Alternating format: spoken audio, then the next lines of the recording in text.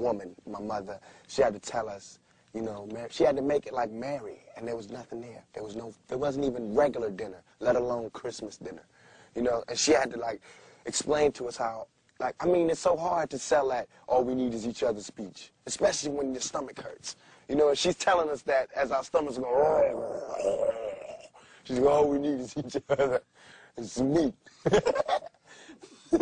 It's interesting how um, hip hop, rap music in the beginning, or a song like Grandmaster Flash is the message, where basically they were saying, you know, it's like a jungle sometimes. I wish, you know, I wonder how I keep from going under. The whole root of what that song was was basically saying, look, these are the problems here.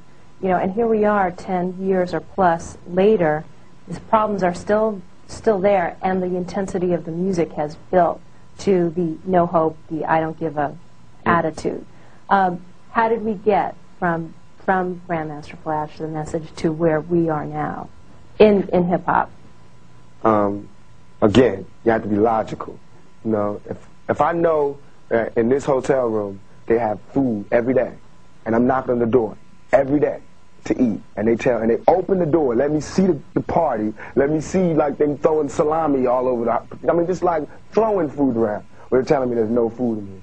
You know what I'm saying? Every day, I'm standing outside trying to sing my way in. You know what I'm saying? We are hungry, please let us in. We are hungry, please let us in.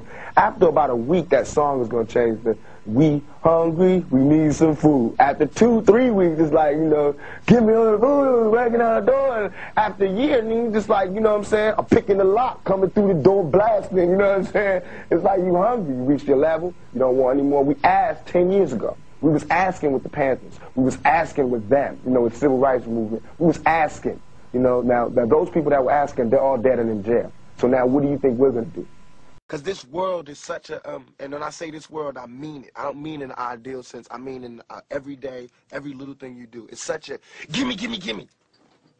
Everybody back off. You know, everybody's like, you taught that from school, everywhere. Big business. If you want to be successful, you want to be like Trump, gimme, gimme, gimme, push, push, push, push, step, step, step, crush, crush, crush.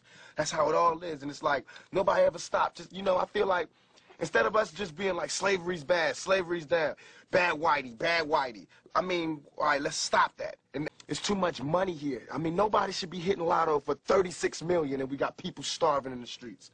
That is not idealistic. That's just real. That is just stupid. There's no way Michael Jackson should have, or whoever Jackson, should have a million thousand, druple billion dollars and then there's people starving. There's no way. There's no way that these people should own planes and their people don't have houses, apartments, shacks, drawers, pants, I know you're rich. I know you got $40 billion, but can you just keep it to one house? You only need one house. And if you only got two kids, can you just keep it to two rooms? I mean, why have 52 rooms and you know there's somebody with no room? It just don't make sense to me. It don't. And then these people celebrate Christmas. They got big trees, huge trees, all the little trimmings. Everybody got gifts, and then somebody's starving. And they're having a white Christmas. They're having a great Christmas, eggnog and the whole nine. That's not fair to me to try to rebuild this for 10 years myself people like ice cube public enemy have predicted this situation. And we've been shut off by the radio stations and the media you know as being just black kids yelling. You know we yelled about police brutality. We yelled about the gang situation.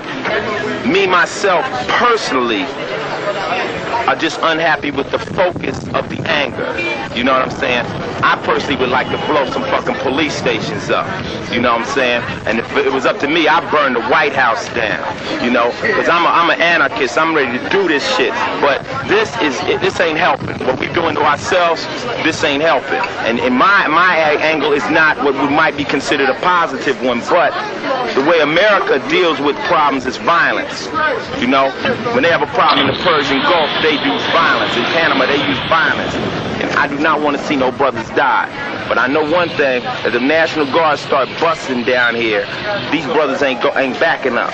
You know what I'm saying? And it could get bloody. But Bush ain't gonna do nothing but pacify us. He gonna pacify us, he gonna divide us, he gonna turn around and tell the Koreans, see what the black people did to you, and he gonna turn around and tell the white people this, look at the savages on TV, he's gonna separate us once again. You know? We have to be very intelligent. There's white people right here, there's white people down there cleaning up. You know, it's black folks, we can't, we gotta pick our allies and, and tie in with them. If we can all get together, they can't fuck with us. If the blacks and Hispanics and Asians and white people get together, the people that are really down with this, they can't fuck with us. We proving that right now.